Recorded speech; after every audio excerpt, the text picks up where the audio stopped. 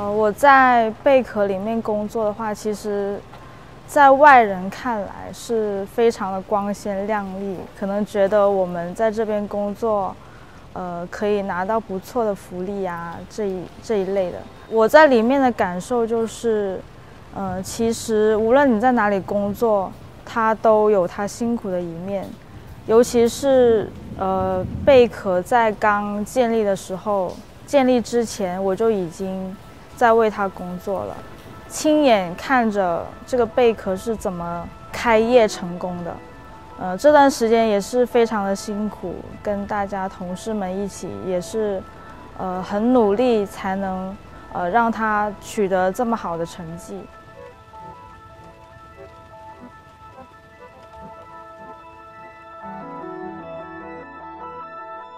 我感觉自己。就像一颗珍珠在贝壳里面，就是，呃，一直在不停的打磨成长。嗯，我觉得在这边工作的话，嗯，迟早有一天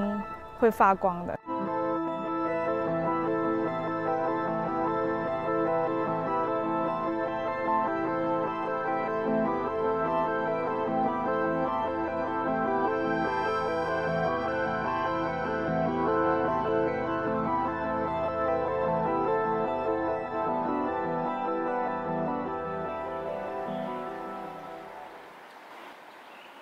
我叫张曼飞，我在珠海生活二十六年了。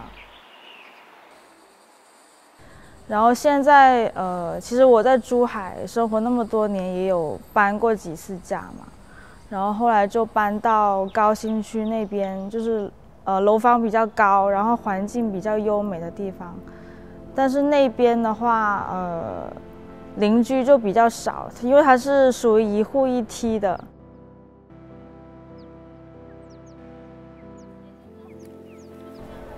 很多人都可能向往那种大城市，希望可以找那种高薪的工作，嗯，但是到现在的话，可能因为这个时代工作压力很大，其实，呃，人们可能更加向往那种乡村的那种生活，就是比较休闲。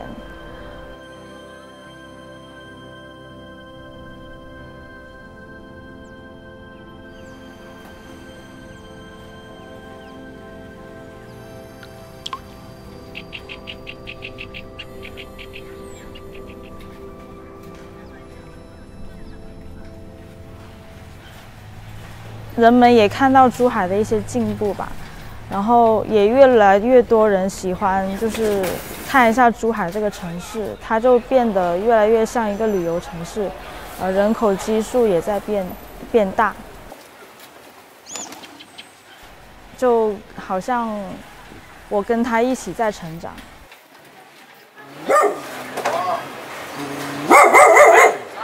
像市中心，他们。呃，马路边上的一些车鸣声啊，轮胎跟马路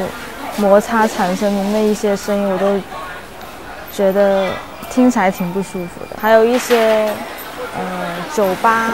里面比较吵闹的那种玩乐的声音，所以如果环境比较呃吵闹的话，我可能就呃不是很喜欢。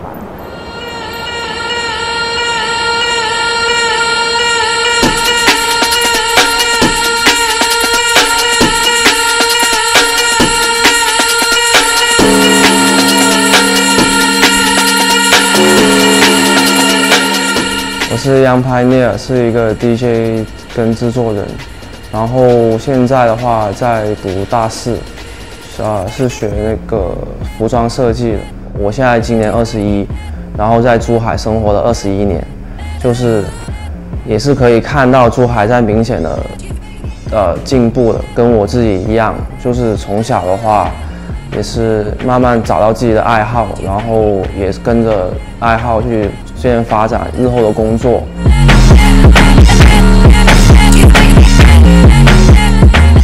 其实现在的话就是都以零零后为主，然后其实我觉得年轻人是有一定的力量去支撑整个珠海日后的，不管是文化还是任何东西，然后年轻人潜力也非常多，不管是音乐还是艺术方面，我相信就是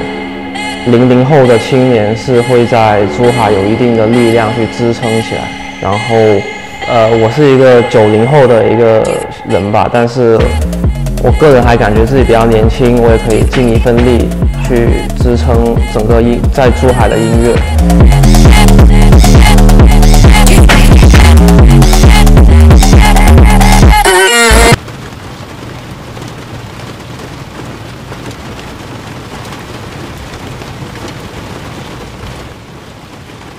在繁忙的时候，会有许多的汽车的喇叭声，还有工地的钻地的声音。其实我是个人是非常讨厌这种声音，我喜我偏向于一一种就是人越少越好，然后可以回归自然的感觉。我的灵感其实是来自于海，还有下雨的声音，因为海整体会让人觉得平静。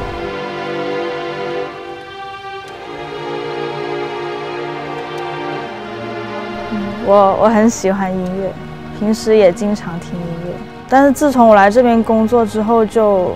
呃经常接触到一些什么交响音乐啊，或者是一些轻音乐啊，还有四重奏、三重奏这些纯音乐，可以就是听起来的话，呃，能够让我的心情平静下来，在这个呃喧嚣的城市当中。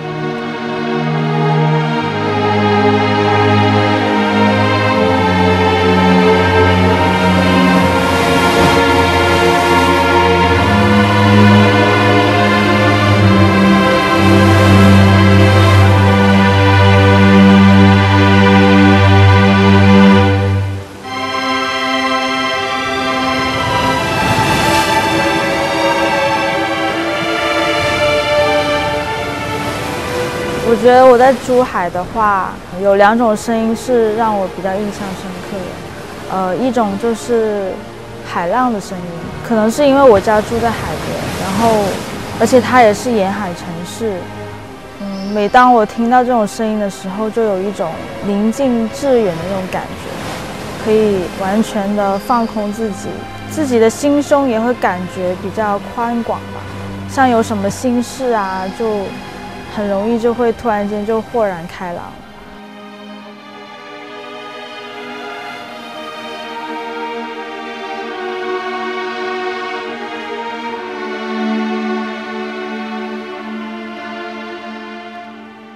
珠海其实在这二十年来发展挺快，然后以前的话就是一个小的沿海城市，比较乡村，比较像渔村一样。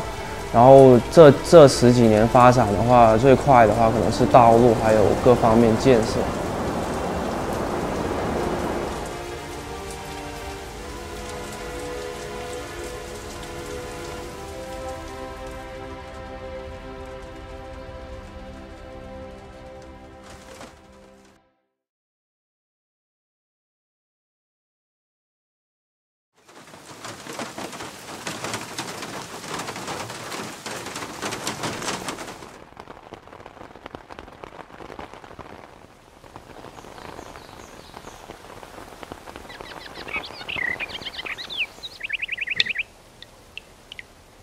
另外一种声音就是一些，呃，比如说像小鸟啊、小动物的一些声音。嗯，因为珠海的话，其实它绿化做的挺好的。然后，呃，其实像我们珠海小鸟啊这种动物应该也挺多。每次听到这种声音，我就觉得自己是身在大自然当中，就是，呃，与大自然是融合在一起的。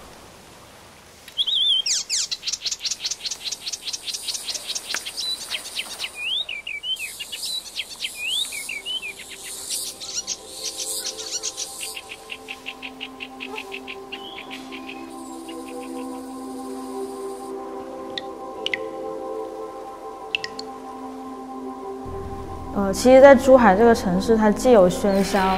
也有宁静的声音。嗯，那么人们，他可以在这两个点做一个结合，然后去适应这个城市，城市也适应人们。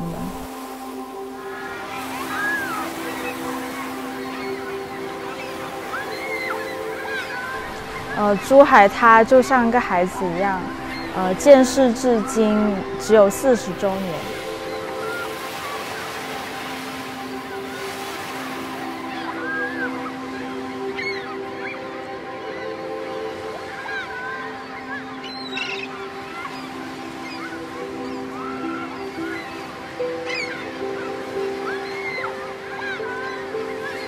那么我认为呢，珠海在将来应该会有很大的发展，嗯，会有更多更优美的声音，我们在这边呃倾听就可以了。